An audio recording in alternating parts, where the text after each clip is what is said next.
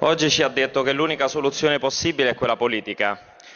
Ma non è stato lei venerdì scorso a dire, scatenando tra l'altro l'eccitamento collettivo in quest'Aula perché qua dentro qualcuno con la guerra in Libia ci si arricchirebbe, non è stato lei a dire l'Italia è pronta a combattere in un quadro di legalità internazionale in Libia? A parte il fatto che voi che parlate di legalità, insomma, aspettiamo ancora la legge anticorruzione, Ministro.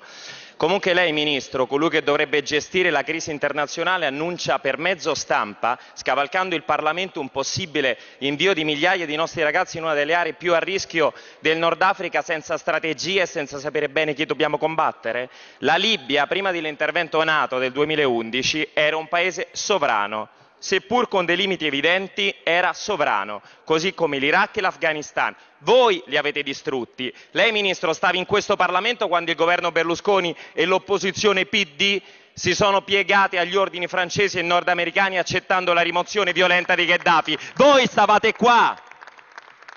Lei, come tutti coloro che si sedevano in quest'Aula nella passata legislatura, è responsabile del disastro libico. Ma meno male che oggi c'è il Movimento 5 Stelle qua in Aula. Meno male, perché per voi sotto sotto, shh, Sotto sotto l'unica soluzione sono le bombe. Le lobby degli armamenti pressano, ce ne rendiamo conto, ma esiste la dignità, esiste l'interesse collettivo, esiste la sicurezza degli italiani. Le vostre scelte sotto sotto sono sempre dettate dai soldi, stramaledetti soldi. C'è chi gode quando cade una bomba e se ne fotte dei morti, gode perché con le bombe ci si fanno i quattrini e con i quattrini si corrompe la classe politica italiana, la più corrotta del mondo.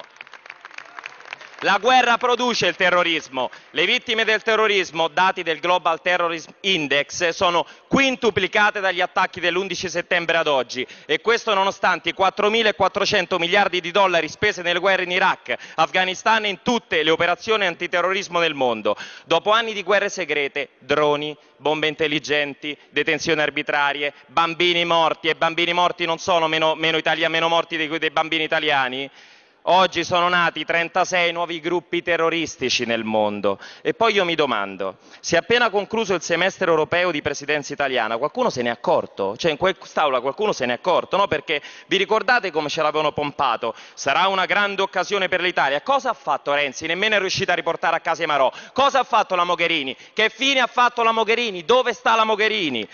I partiti che oggi parlano qui in aula sono gli stessi che hanno sostenuto nella passata legislatura l'intervento armato che ha trasformato la Libia in un paradiso di jihadisti e che ha permesso a multinazionali francesi, nordamericane e inglesi di arricchirsi a danno no della nostra Eni.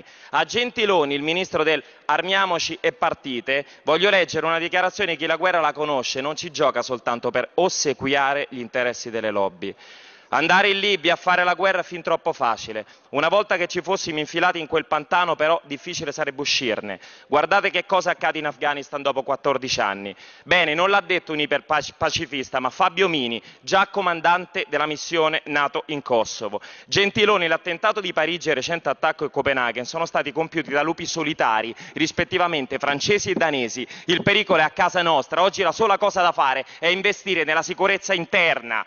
I cittadini hanno paura, hanno ragione. Il governo vuole tagliare migliaia di uomini delle forze dell'ordine, carabinieri e poliziotti non sono una voce di spesa da mettere a bilancio, ma un investimento per la sicurezza degli italiani. I cittadini hanno paura, hanno ragione. Il ministro degli interni è Alfano, uno incapace persino di gestire l'ordine pubblico di una partita di calcio.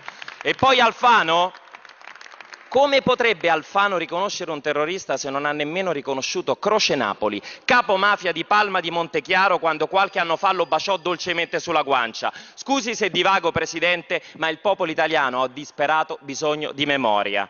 E poi smettetela di, di, di, di fare affari con i paesi che finanziano i terroristi. Questa è l'ipocrisia. Smettete di fare affari con loro. Dire no alla guerra in Libia non significa stare fermi. Noi vogliamo garantire la sicurezza degli italiani e per farlo non abbiamo bisogno di bombe ma di aumentare le risorse per le forze di sicurezza e di intelligence qui in Italia. Dove prendere i soldi? Ma vi rendete conto che mentre in Libia, a pochi chilometri da noi, c'è il caos, noi siamo ancora in guerra in Afghanistan, dove nel 2015 spenderemo un milione di euro al giorno, al giorno, Ministro. Questi soldi non potremmo investirli nella sicurezza dei cittadini italiani? Una guerra in Libia sarebbe una catastrofe, sarebbe il nostro Vietnam. Se Gentiloni e Pinotti vogliono fare i Marines, si accomodino pure. Spenderemo i, i loro stipendi da casta per, per, riparare qualche scuola, per bonificare qualche terreno nella terra dei fuochi o per pagare la benzina ai poliziotti, perché la vera guerra, quelli che molti mezzi di comunicazione e tutte le forze politiche vogliono farci dimenticare, ce l'abbiamo qui in casa e non in Libia. Grazie.